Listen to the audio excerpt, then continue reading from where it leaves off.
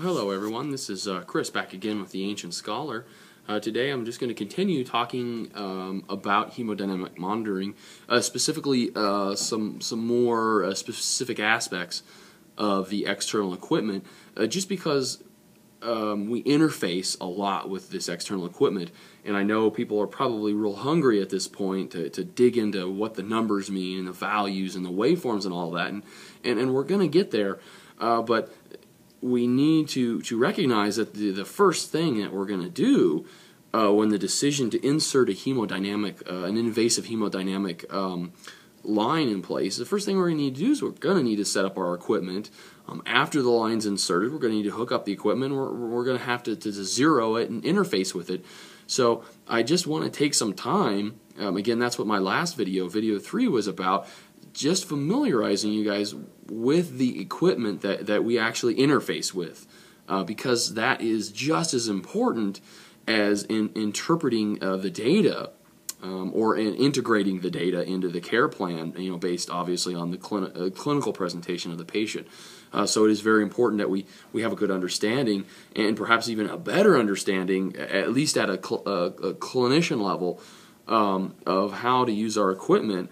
Um, uh, because the information um, can be skewed if we do not properly set it up, zero it, interface with it, so on and so forth. And, and clearly, um, you know, there there are some hazards involved with improperly interfacing the, the, the equipment. You know, we talk about you know not flushing it properly and getting blood clots, air bubbles, uh, things of that nature. So what I want to talk about real quick is actually how to zero it. So we talked about uh, this little guy here uh, being the transducer. This is how we do our fast flush.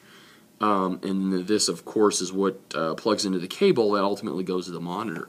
So what's going to happen is when we um, e initially um, get an invasive line inserted, I'm, I'm going to hook, obviously, um, you know, we're going to make sure that it's in good position, all that, but I'm going to go ahead and, and hook this up uh, to the distal end of that line whatever it may be, a, a PA cath, an art line, or a, a, central venous catheter.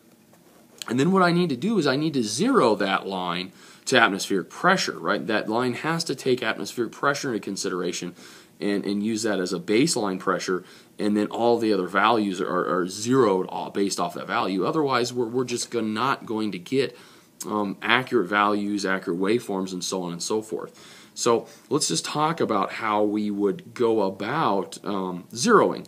So first of all, we need to zero to atmospheric pressure. Now, um, you can see attached to the transducer, I have this little little little thing here with a little handle that says off on it.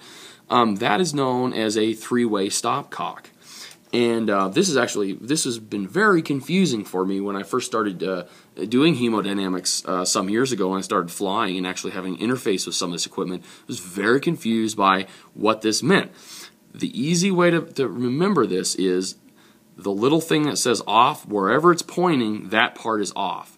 So right now I have this little yellow port here, and if I open this port, um, that's actually open to atmosphere now you can see that the off is pointing here, so that means that this port is off and flow can go this way or this way. So I have an open conduit here, my conduit is off here.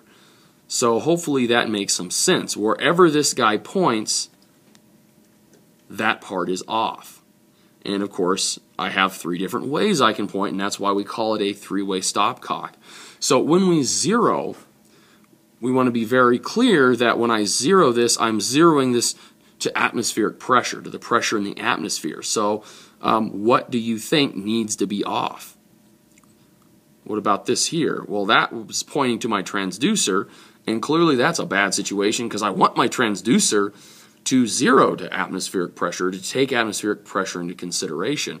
So what I actually want is I want a conduit to the atmospheric pressure.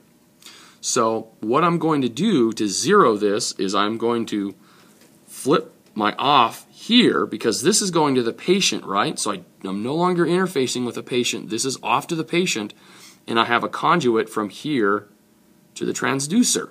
So that's what I'll do. I'll go ahead and I'll have this transducer um, properly placed, the phlebostatic axis, be that on a level, on an IV, on an IV pole, or taped to the chest, as as a case may be, um, with me during transport. I'll go ahead, turn this, the patient off. So now the transducer is looking at atmospheric pressure.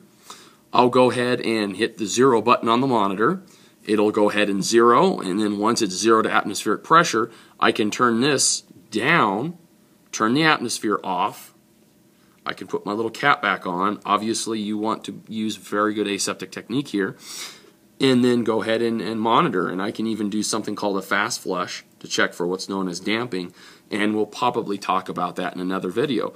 Okay, guys, hopefully that makes some sense. Hopefully that uh, maybe if you were having some difficulty um, understanding that, that that makes a lot more um, intuitive sense to you guys. Um, take care. Have a great day.